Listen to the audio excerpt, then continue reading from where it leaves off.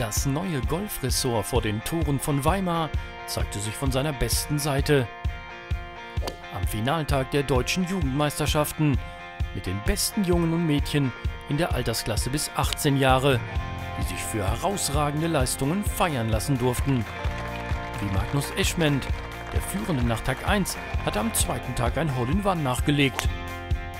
Tolles Wochenende hier, das hat mir tierisch viel Spaß gebracht und das Ass war natürlich äh, tolles i-Tüpfelchen. Auf dem Leaderboard spielte Michael Hirmer überraschend keine Rolle. Der deutsche Meister der Herren konnte seinen Jugendtitel nicht verteidigen. Ganz stark dagegen Marcel Rauch. Mit einer 65 hatte sich der Berliner in der zweiten Runde an die Spitze des Feldes gespielt. Noch besser am Samstag Lukas Gras aus Osnabrück. Er spielte mit einer 63 Platzrekord und damit die beste Runde des Turniers. Ich, ich habe die Löcher genutzt, wo man die Birdies machen konnte. Dann sind die Putts gefallen, dann blieben die Bälle besser liegen. Deswegen, es lief alles zusammen. Ja, und dann natürlich glücklich mit 8 unter, super Runde, super zufrieden dann. Am Finaltag tauchte noch ein anderer Herausforderer auf. Konstantin Unger spielte eine 64 und war mit 10 unter Paar der Führenden im Clubhaus, als die letzte Gruppe auf die 18 kam. Lukas Gras war nach diesem Versuch von der Steinmauer auf der 18 raus, aber Marcel Rauch spielte das Paar zur 10 unter.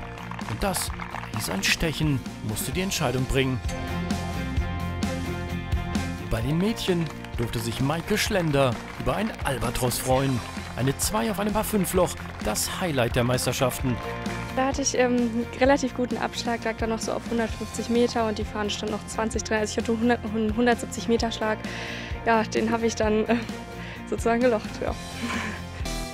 In Führung vor dem Finaltag Viviana Krug.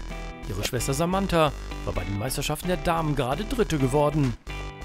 Aber am Sonntag spielten sich andere nach vorn, wie Marie Kuschke vom Golfclub Stolperheide und Clarissa von Stosch aus Kassel, die es sogar noch bis auf den zweiten Platz schaffte.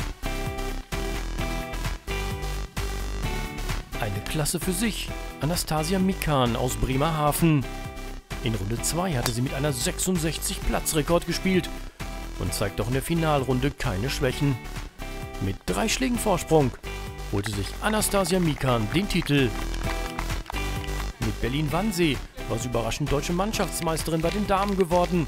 Danach hatte sie die offenen Meisterschaften in der Türkei gewonnen und jetzt der erste große Einzeltitel in der Heimat für die 17-Jährige aus Norddeutschland.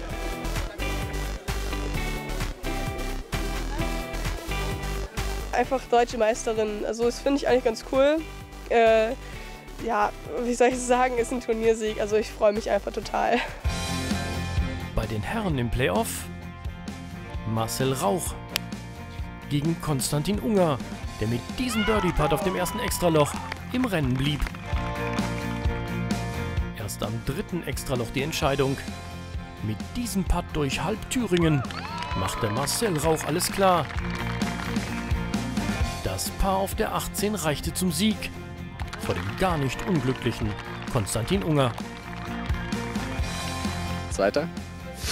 Zweiter von Zweiter aus Deutschland, meiner Altersklasse. Hört sich doch gut an, wenn man das erzählt.